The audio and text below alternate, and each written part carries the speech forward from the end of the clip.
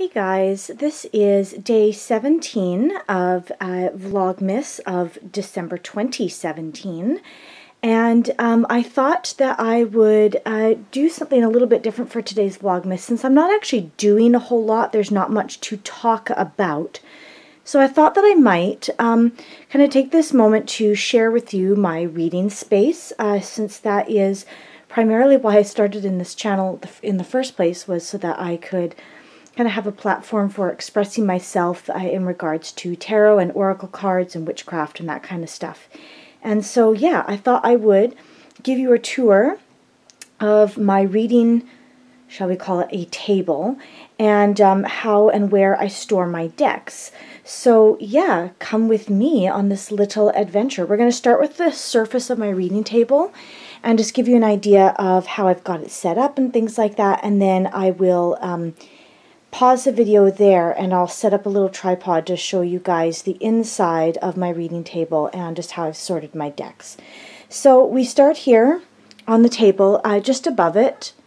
Um, I have a couple of things on the wall here, a beautiful poster of Isis, the goddess, the Egyptian goddess, um, a reading, uh, like a spread uh, that came along with my Ancient Feminine Wisdom deck, um, but I've never actually attempted the reading. I just really love the uh, beautiful image there of um, of this goddess uh, in the wheat field and with the flowers. And uh, I just like the colors. It goes quite nicely with my Isis poster. And um, I think it's a good way to kind of um, draw attention to the space. Then I have my Metaphysical Adept uh, certification. So um, this uh, says that I have successfully demonstrated their abilities and completed the necessary coursework in um, the lunar phases, uh, tarot, crystals, and chakra work. That's what the four images in the corners refer to. And then I found this at um, the Spirit Halloween store, and I just thought it was perfect. So let's start from the left um, and work our way over because, you know, left is right and right is wrong, right? Not literally, but, um, you know, we'll, we'll do it in the, the Western reading fashion. And I'm just trying to fix. This bird is not wanting to stay on my tree. There we go. That's better. So, um, I have this little light up tree, which the batteries are currently dead on, um, and I have two little bird Christmas ornaments that actually stay on this tree year round. Um, next, I have uh, my Empress tarot candle, and I got this again at the Spirit Halloween store. Uh, it was very cheap, and I thought it was an excellent little uh, thing to have on my reading table, and I plan next year, um, if they decide to come back to town or if I end up being someplace that has one of those stores, I'm going to grab the rest of the series candles that they have. There was only a couple others. I think there was the Emperor and the Magician, or maybe it was the Magician and the Fool. I can't remember, but I'll grab whatever ones they have. Um, I have four of these little tiles, uh, moon phase tiles. So we've got new moon, uh, waxing crescent, first quarter, and uh, waxing gibbous. Whoops, I guess it helps if those are in the, the shot there. And um, people keep asking about these. I made them myself. Um, they are just a bit of Sculpey that I rolled into a ball and then flattened. You can kind of see my working marks on the back there. And um, it's just a little bit of, uh, I baked them and then painted them with a little bit of acrylic paint. Uh, nothing fancy, just a bit of white and gray mixed together, and um, then I painted the crescent over top. So for all with the exception of the new moon, I painted the full moon on them first, and then I added um, the uh, black over top after, since the black covers so well. I'll show you the other four when we get to the other side. I've got a deer antler, which was uh, reclaimed. It was found in the woods, um, and I bought it at a vintage shop. Uh, somebody had um, uh, purchased it from like an estate or something like that, and that person had reportedly found it in the woods on a walk. Um, it is drilled in the bottom because it was hung up at one point, um, and there's another hole there as well. I've got a um, abalone shell and some cedar, sweetgrass, and sage bundle. A little incense holder. There's um, some amethyst, a labradorite, and then this is a stone from the Grand Canyon. My aunt and uncle went there quite recently, and um, my request was to bring me back a rock, and she kind of snuck it. Because technically, you're not supposed to take them out. Oops. Um, this is my working reading candle. It is lit for every single reading that I do at this table for other people, as well as the big ones for myself. If I'm just doing little one card draws, I don't bother to light the candle, but I do for everything that I consider a larger reading than, say, maybe three cards. Uh, there's some blue kyanite with my um, uh, Morrigan oil blend that I purchased from uh, Crystal at Power Femme. And um, as you can see, once it's mixed up, mixed up, it is blood red, almost black. I love it. It smells amazing. Um, and I anoint myself or candles with it whenever I'm going to be doing uh, magic uh, with or for the Morrigan, whenever I want to invoke her. And sometimes I apply it as a perfume on my inner wrists and the back of my neck or my um, my earlobes uh, when, like my pulse points, when I feel like I need that extra bit of Morrigan strength. Um, I've also got this seer stone, which I purchased from an Etsy shop a few years ago, and um, it's supposed to be meant for scrying, because um, as you can see, it's frosted on the outside, and then it's clear on the inside, and it's been polished.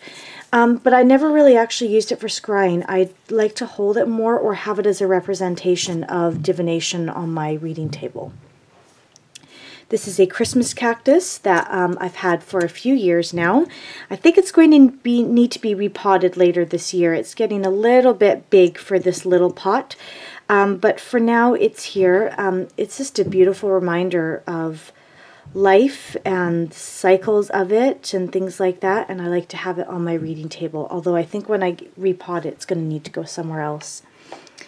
Uh, this is a um, Nag Champa candle. Um, it's like a votive I think and I've put it in a small candle holder.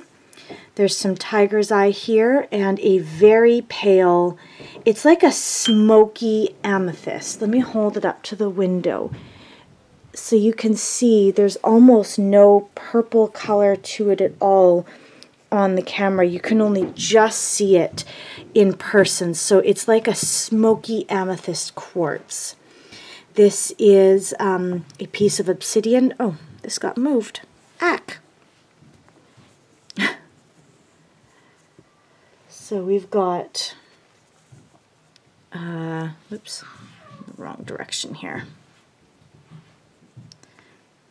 Move my tea. Okay, sorry, we'll, we'll do that in a minute. Um, this is a uh, cow's jawbone, and I got this off of a local Facebook Bidding Wars group. I have no idea how it was collected or anything, but it does appear to be quite old. Um, I have the other half on my main working altar, and uh, for me, it is a representative representative of death and destruction and decay and um, you know, also some of the permanence that comes uh, in, you know, the bones. Uh, it can take a long time for bones to decay. So, um, yeah, I use it as a, as a focal point, as a representation. I have my dark goddess statue, which I also made myself. This is just some more Sculpey, baked and then painted. Um, and I have a Himalayan pink salt lamp and this is a piece of blue calcite. Uh, I chose this piece to be on my working altar more out of a color scheme sense because it matches this beautiful drop cloth, which I think is perfect for winter time. Um, but uh, yeah, that's mostly why it's there. And then we have the full, the waning gibbous, the uh, third quarter, and then the waning crescent moon phase tiles there. So yes, um, and then I have a cup of tea, and today is actually, this tea is the one from my David's Tea Advent Calendar. It's called Caramel Shortbread, and it is a fruit infusion, which typically I do not care for, but this one smelled amazing. So I'm just going to take a sip now. Oh, you guys, that is quite delightful. That one might actually need to be purchased. Oh, that is delightful. Oh, yes. Yeah, we're definitely purchasing that one. I think this one's going to need just a titch of honey just to sweeten up a little bit. Um, but other than that, this is fine on its own. I think I'm going to take the tea bag out after this and add just a smidge of honey just to sweeten it a tiny bit. And then we're going to call it perfect. All right, so I'll see you in a minute and I will show you how I store my decks. Hey guys, welcome back.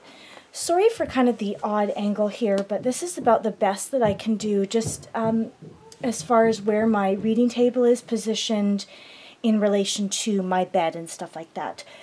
Because, as some of you who've been here for a while remember, this reading table is in my bedroom. And let's not give them view of cat butt, okay, Tasha? Thanks, honey. Nobody wants to see your butthole. No, they don't. So uh, this side is the tarot side, and this side, which we'll get to in a couple minutes, is my uh, oracle deck side.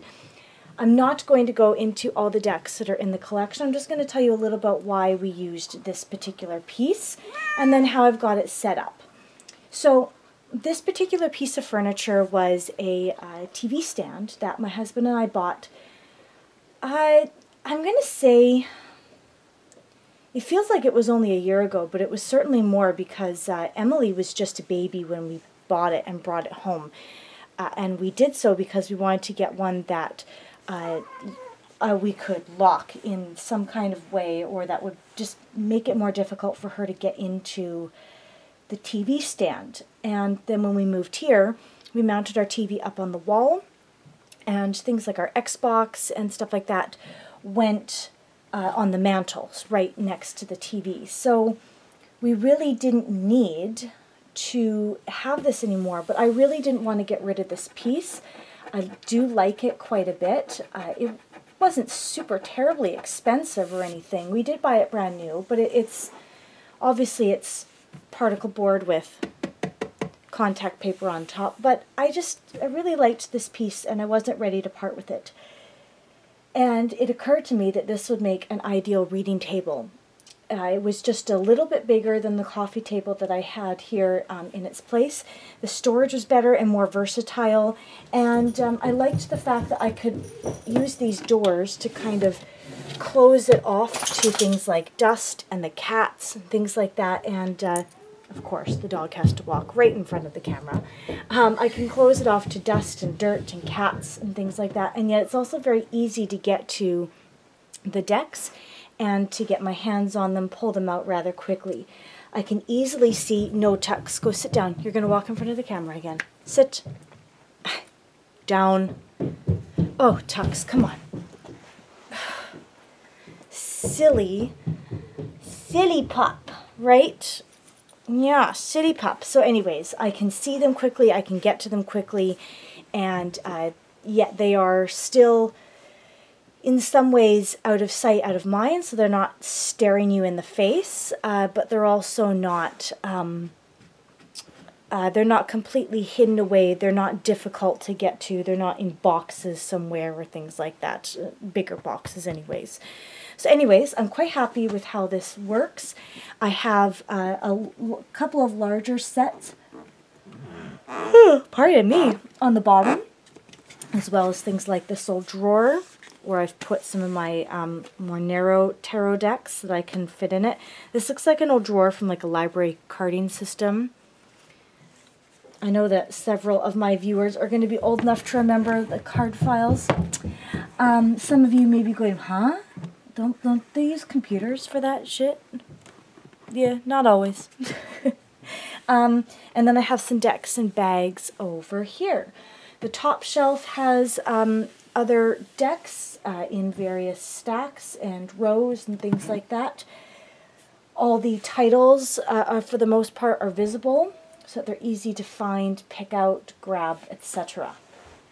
So that is that side. Then let's move you over to this side. Tux, move. Tux, move. Tux, move. This dog loves to be underfoot. So here is this side. Now this side currently is a wee bit messy, but that's okay. Um, there's a couple extra things up here that don't really need to be, so I'll put them away after. It's really cool Urban Decay case that my latest uh, mascara and eyeliner came in, but I'm going to repurpose for something else. Um, and then we have, uh, again, a bunch of Oracle decks up here, along with a box that holds several decks, as well as my runes in it. Uh, my husband made this box. And then down here, we have Oracle decks here and here, and then all of my tarot specific books are here. So any books, or sorry, any decks that came with books, the matching companion books, with the exception of like little white books, which I have for the most part just chucked, uh, or recycled, I should say. They have specifically been recycled. They all stay here, the, the bigger books. Um, and then this is a beautiful wooden box that I found at a thrift store. One of the hinges uh, needs a new pin, but other than that, it's in great working shape and has thus far held the uh, medicine cards that I have, but that's this case is going to be for. Uh, I did not want to keep this for using makeup with because, well, I already had uh, a way of storing my makeup. But this seemed like the perfect solution for this deck. We're going to find out if it fits now. It's feeling a little bit tight, but I feel like it would still work. Yeah, it does. It's a wee bit tight, but I think that this material, like there's still room in here I can feel. I think it'll stretch out a little bit more over time and become more pliable and stuff. And this beautiful multi-chrome packaging, the the green to purple is just stunning. And um, it says hashtag troublemaker on the bottom, which I think is a little interesting. Um, but it just looks, I think, nice and compact in this. Um, and so, yeah, this is now going to go up in here. There we are. Fits wonderfully right up in there. And then I have a different purpose in mind for this box uh, that is not deck-wise. Um, and then I have an open box here for um, one of the Oracle decks, the Connected and Free, which is currently sitting on top of my altar being used. Then I have this deck, the Crystal Reading cards, which is going to go back in. So I know where I had it before and where I'd like it to go again. And so it's just a pretty simple matter of just putting it back where it belonged and uh, keeping it all nice and organized. And then, yes, this empty box I'm just going to leave here. And then I have something similar to do over here because my Ostara Tarot is now sitting on my altar. And so the book is going to go back in the box. And I'm just going to leave it down here because it is going to go on the bottom here when it goes back away, uh, right up on top of the Egyptian Tarot to be precise. So yeah, that is where I keep my decks. Um, and Tasha is walking up right now to go and leap in there. And I really, really don't want her to do that. so yeah, I hope you guys enjoyed that little mini tour of my reading table. Oh yes, much better with a dash of honey. And so um, I thought I would then pull my cards for the day on camera as just a little bonus. You probably saw the decks in that last piece of footage.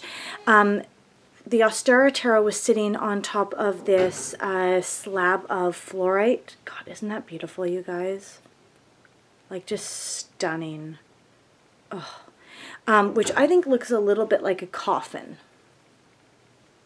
You know, an oblong, oddly shaped coffin. But I think it's cool. So it goes back over to the side, and then I'm looking for another slab of a stone of some kind that I can put a working oracle deck on top of, either to put on the other side of the table or just right below it. Um, but I think it would be really cool to have a companion slab crystal on my deck. I've also tried to look for just plain uh, stones, like rocks, out in nature. Woo, I'm dropping cards everywhere. Um, and there is no rhyme or reason to it whatsoever, so I'm not going to call any of these uh, my cards for the day. Um, but then as I was trying to put this card back, it flung out at me again. So I'm going to call that my card for the day. And um, we have the sun, which I think is a beautiful message for the day. Um, it is raining cats and dogs outside. Uh, not literally, but you guys know what I mean. And I really needed to hear the sun today. Um, I really needed to get that card. Uh, it's a nice little bright reminder that uh, difficult stages in life are always impermanent and it's uh, not something that lasts forever. And so it's something that I can very well uh, cope with and move on from. And one day things will be all nice and bright and sunny again. And I'm just shuffling my Alchemist Oracle here.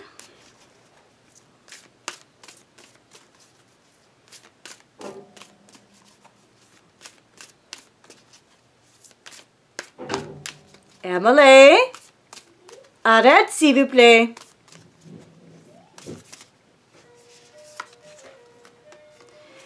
And we have the base chakra. So together with the sun, I really feel like it's telling me that I need to kind of get back in touch with that inner fire, with that, you know, going back to the basics, stripping it back down to what things make me happy. And so what can I do to pursue those? And um, I won't tell you why right now I feel the need to ask myself that question, uh, but do know that it is definitely relevant to me, to what's going on in my life right now, and uh, that's going to give me a good, um, a good base for some reflection, some journaling a little bit later on uh, this afternoon when there's a bit more peace and quiet going on in this house, because Lord knows there isn't much of that right now. Um, so anyways, I will probably check in with you guys uh, later on this evening. Uh, my husband and my friend are out at uh, a Vancouver Canucks game tonight. I'm very jealous, but in a good way, like in a very happy for them kind of way. So I'm going to stay home this afternoon and I'm going to watch the game from my own television at home and uh, enjoy myself immensely that way. And uh, I've got my two younger kids uh, home with me for now. The oldest is out um, doing some stuff today with a friend. And then um, she will be home just in time for dinner. And then, uh, yeah, uh, I'll get them ready for bed, uh, you know, in bits and pieces while the game is playing in the background. Do a little bit of knitting this afternoon uh, still, hopefully. And then, um, yeah, once it's bedtime, it's off to bed with these guys and then maybe a little bit of peace and quiet for mama before she turns in for the night. So I'm going to go before my children kill each other and I'll talk to you guys all very soon. Bye!